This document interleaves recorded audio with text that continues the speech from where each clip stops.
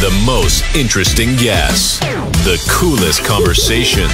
Keep watching episodes of the Grizzly Podcast, hosted by Irvin Scott. Follow the Grizzly Podcast on Apple Podcasts, Spotify, Google Podcasts, iHeartRadio, and many more apps to have our episodes delivered right to your iPhone, Android, or any other device whenever they're released.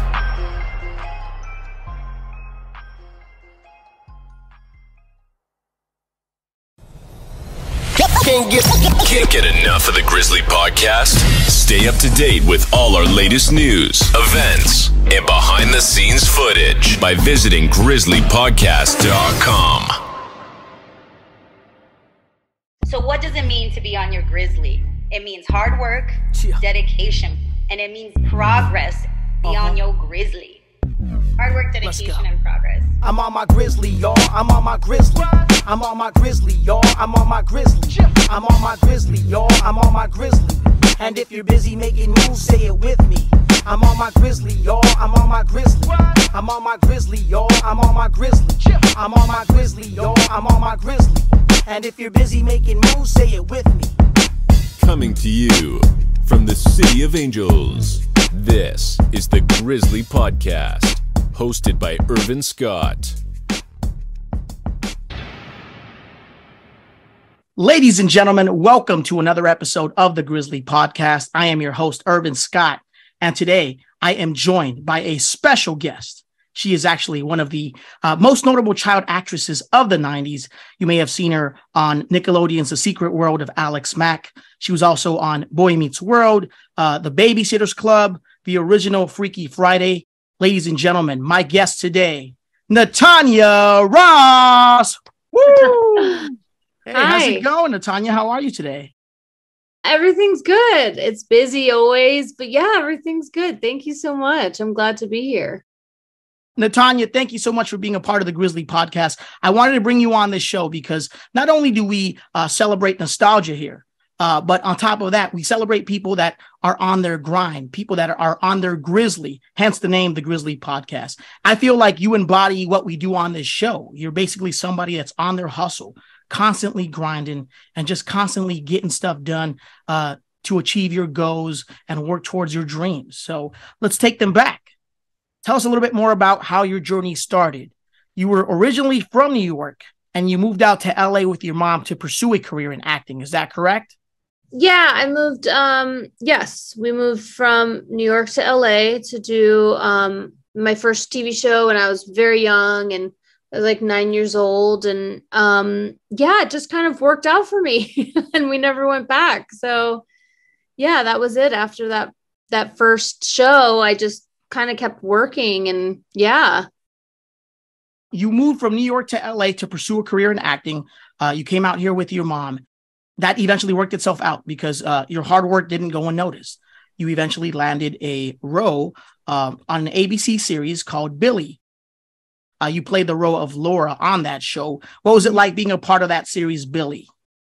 Uh, that was awesome. That was like my first kind of big, big thing, and um, my first, ex- you know, experience in Hollywood. And um, it was a cast of amazing people, and um, we became like a little family very quickly. And yeah, that was awesome. That was my first taste of everything. So um, I always look back fondly for sure on that show.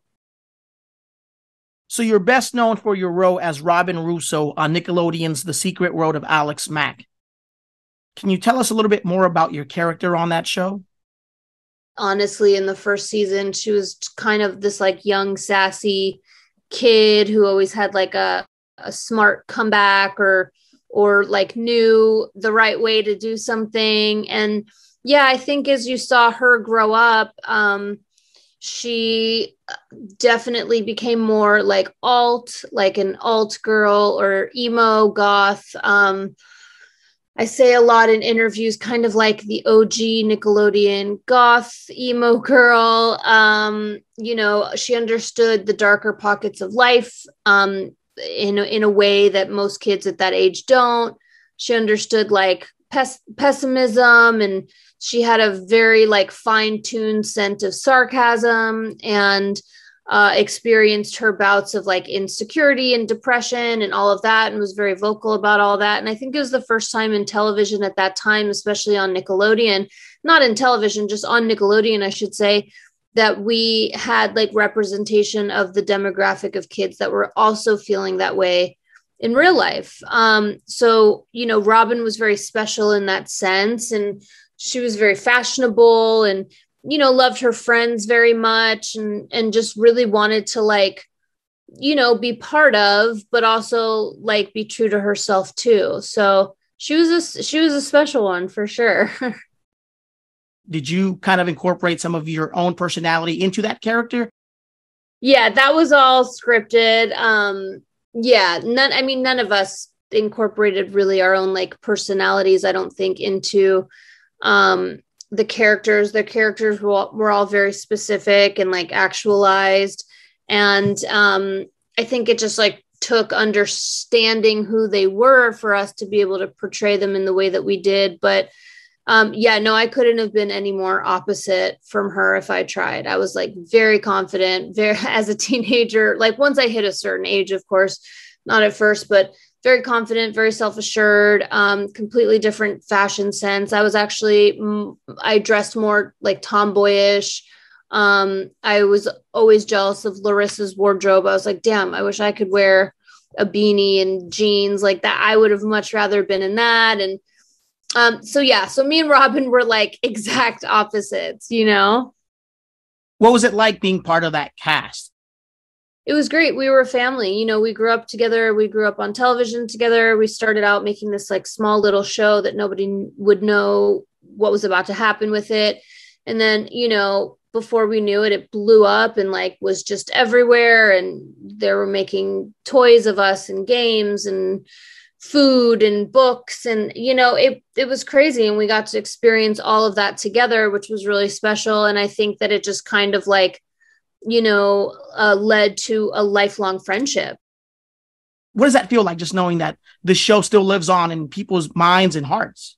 Yeah i mean we're very grateful for that. That's a very very special thing. We're incredibly grateful for it. Um you know it's uh it's crazy that it's lasted this long and i can't imagine is going to keep going too much longer so i think that we just kind of like savor every moment as we can and every special opportunity when i do autograph signings and stuff yeah people bring a lot of memorabilia and it's really cool and it's um it's really awesome you know so very special feeling for sure so fast forward uh, after you know being a part of the uh, secret world of alex mack you and a bunch of other cast members actually reunited. So uh, yeah.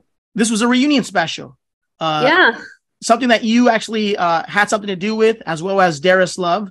Uh, mm-hmm. Can you tell us more about how this whole thing came about? Uh, what inspired the idea? Um, uh, there were there was someone on Facebook who had written something about um, my episode of Boy Meets World, and I commented as I try to do as often as possible with fans and stuff. And that person actually had his name is John um, Brody, and he just mentioned, um, and he's actually an actor and a writer and producer as well. But he had just asked and mentioned if anyone had ever, you know, thought about doing a reunion special or if we had been approached to do one, and we hadn't. So I called Darris and we called Jason, and you know, we just decided to reunite privately and so we got um so it was the three of us and Ben Smith who played Lewis Driscoll and we just you know hung out on a Sunday and that's kind of where it all came about. And Jason um, who played Scott on the show he has a production company called In the Light Production. So he was able to help us secure Universal Studios and you know it just it snowballed from there and I was able to get all the cast out that day. And you know, it took us a few months, obviously, of planning and all of that good stuff. And yeah, that we just made it happen. So you appeared in one episode of Boy Meets World and you played the role of Ingrid Iverson. Could you tell us more about what that character was like? Yeah, I mean, she was just kind of like a nerdy girl who um, asked Cory to the dance because it was a backwards dance. And Cory and Shawn you know, uh, I think he said yes in like a dream sequence or something like that. And they decided she wasn't cool enough. So they were going to make her cool. So it was like, I think it was Boy Meets World's first makeover episode too, which is probably why it, it holds up so well. I think that's why fans remember it so much. And yeah, they gave me a makeover and turned me into the hot girl. And then I decided I was too hot for him and dumped him and then went back to him and then left. I mean, it was like a whole, like, you know, a whole thing. Being a part of the Boy Meets World cast as well, at least just for that one episode, what was it like just being on set with, uh, you know, uh, Ben Savage, uh, Ryder Strong, and Danielle Fishel? Um, yeah, I uh, I didn't have any scenes. I don't think with Danielle, so I actually don't really remember um, spending any much time with her. Um, my stuff was with Ryder and Ben mainly. Um, and then the other people that were uh, guest stars on on that week as well. So I th- I think I I think I hung out with the other guest stars more often, but Ben and I definitely got close during that week. Um, I remember uh, Thunder Alley was filming right next door, and I just done a movie with Andrew Keegan, so he came over a lot to hang out. And yeah, I mean, it goes by really fast. It's only five days, so you know there's there's like three days of rehearsal dress rehearsal and then a taping. So it's you blink and it's done you know and then three hours of each of those days is spent doing schoolwork. So yeah i mean it was it was fun. It was a fun set for sure you know um but yeah i don't i don't remember like too much of like the hanging out stuff. You also starred in the 1995 television movie of freaky friday along with Shelley Long and Gaby Hoffmann. What was it like being a part of that project? Yeah, that was fun too. It was it was great experience, super fun to do. People still love it to this day, which is awesome. Very classic movie, classic plot line. Yeah, it was great. And your role, in a sense, was similar to that of Ingrid Iverson uh, in Boy Meets World, where you played this nerdy character. Yeah, sure, a little bit. Another like nerdy girl who's just looking to fit in and you know, uh get her get her shot and uh yeah, you know, I played that role well, I guess. so after pursuing a career in acting, you took some time off. Uh, what was going on during this time frame? It's a pretty well-known part of my story. I kind of stumbled into drug addiction, unfortunately, and spent all of my 20s um, in pretty like rock bottom, hopeless uh, drug addiction. And then, you know, when I turned 30, um, got really got sober and stayed sober and maintained sobriety. And um, yeah, so it, I mean, it's, uh, yeah, it just that that's what I was doing. I got I got caught up and um unfortunately it took like most of the decade to get out of it and and that was it. I wasn't, um, you know, I wasn't going to college or anything like that. I just had lost my way, as a lot of people do, and and fortunately found my way out of it by the time I turned thirty. So yeah, that's that's the deal with that. Kudos to you for doing what you've done uh, and, and the fact that you're still here to talk about all this and, yeah. and, look back on the experience and and now it's a positive one because you've obviously learned from it. You've yeah. grown from it. And hopefully now you can inspire others to kind of shake that habit as well. You know what i'm saying? Like that's that's what i try and do. You know that's what my life has become about now. And i run a rehab in los angeles so i help other people that are suffering get into treatment. Like i you know had been given the opportunity to and do a lot of work in the homeless community and just all sorts of different stuff like that. So, um, yeah, I mean, I think you can definitely take a negative and turn it into a positive, but not everybody gets the chance to do that. Unfortunately, I'd say it's probably like seven out of 10 people don't make it, you know, maybe even more. So I feel incredibly grateful and honored and lucky to still be here, um, you know, and have made it through that uh, period of my life for sure tell us a little bit more about your wedding and how that whole relationship came about and everything leading up to this wedding. Yeah, I mean, we've been together six years, and um, yeah, I mean, planning a wedding is very overwhelming and um, exciting and nerve wracking and stressful. I mean, it's a million different emotions, and Um, but I was always like grateful to be doing it every step of the way. And I try to never forget that, like even in the times where it feels really stressful or overwhelming. Um, but yeah, I mean, it's a beautiful experience. Um, so yeah. okay. Congratulations, by the way.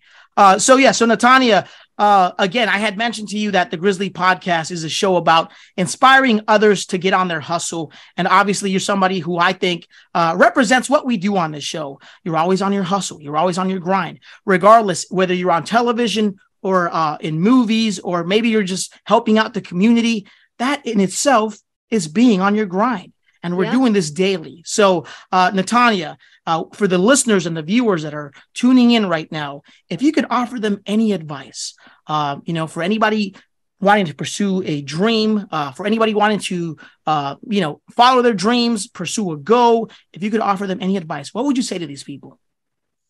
Um, I would say that like if your intentions are in the right place and you execute it with hard work, like usually God will provide, you know, and will provide kind of that open door that will be very clear to see to walk through to where you can like step up and and be of help. And as far as like you know um a goal of like a, a big dream or anything like that i mean i think that one cliche never give up on it right? Um that's number one. But i think that like above and beyond all of that like before we can start to conquer that kind of stuff we have to always like lead from kindness and love. And and my saving grace has always been like the more i think about you the less i think about me. And if you can lead with a heart of service in my experience usually everything else just comes you know? It just comes. Wonderful advice there. And natanya uh, are there any like meet and greets going down in the future? Uh, I know like you're you're part of these conventions as well sometimes, right? Where you I go am. in. Okay, so yeah. what's the next convention going down? Um, I don't have one lined up right now. Um, we we took a quick. I did one just recently in New Jersey. We took a quick break so I could get through the wedding and all of that. So I'll probably pick back up in January. I promoted on my social media. I'm pretty good about that kind of stuff.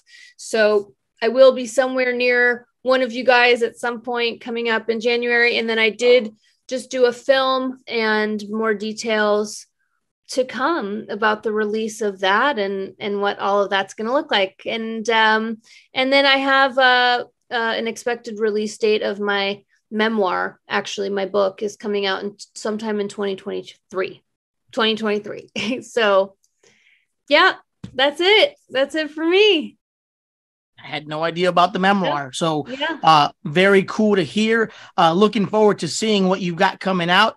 Uh yeah. and Natanya, for anybody that wants to keep up with you and just everything going on in your world, uh what's the best way for them to reach you?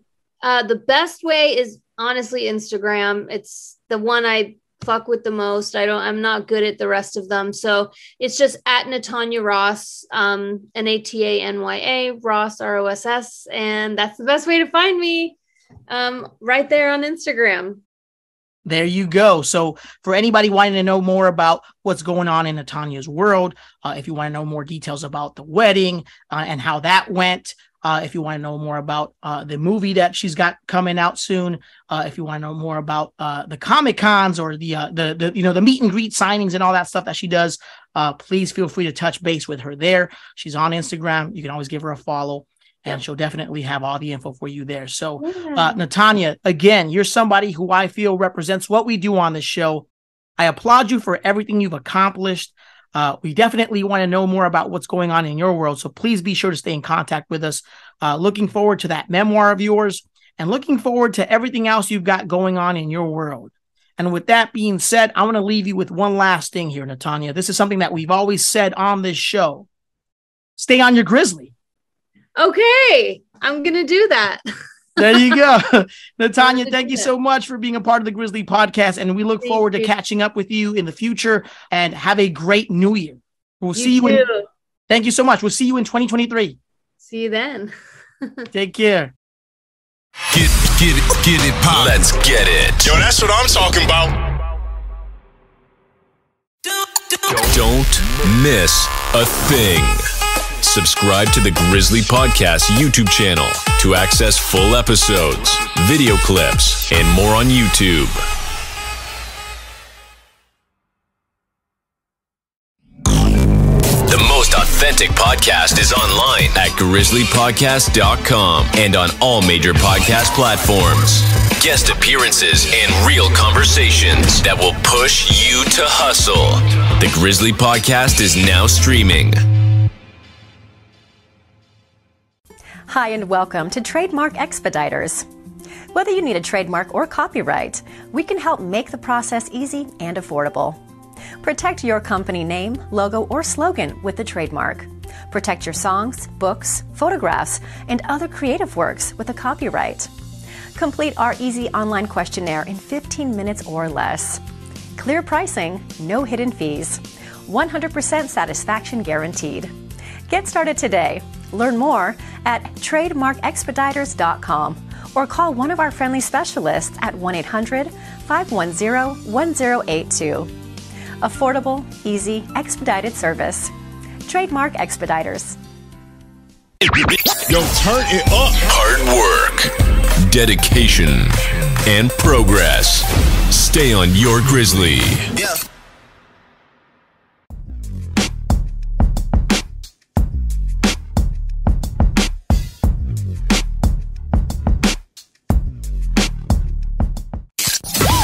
Thanks for checking out another Grizzly Podcast episode. We'll see you next time.